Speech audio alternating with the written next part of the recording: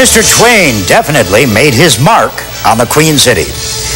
His real name was Samuel Clemens, but the world knows him as author humorist Mark Twain.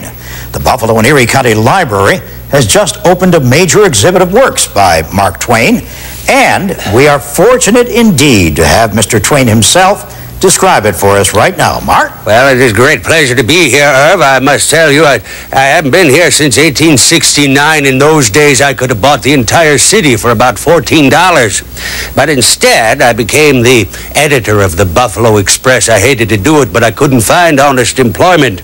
This little get together at the Central Library tonight is a rare honor indeed, and I intend to enjoy every minute of it.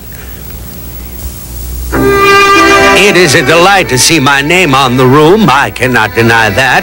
I was born modest, not all over, but in spots. The Mark Twain Room is the new home for the complete manuscript of my book, Huckleberry Finn. Some have called it a classic, but I've always thought of a classic as a book which people praise but don't read. True classics are like a fine wine. My books are more like water. Fortunately for me, everybody drinks water. And there are many of my first editions now in the Mark Twain room. When Huckleberry Finn made his first appearance, he met with a good deal of disapproval. Critics called the book trash. And I was pleased. I knew that such a proclamation would easily sell 25,000 copies. And it did. My home on Delaware Avenue was a wedding gift from my father-in-law. While the house has not survived the ravages of time, the mantelpiece from our fireplace is preserved in the Mark Twain room.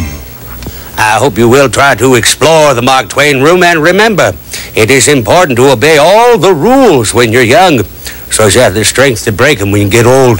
Back to you, Irv. And, uh, Mr. Twain, I understand you are personally appearing every Thursday night at the Akron House in the village of Akron. Is that true? Yes, that is true, sir. Thank you for that plug. I, uh, reports of my death have been greatly exaggerated. okay. What a talented guy that Mike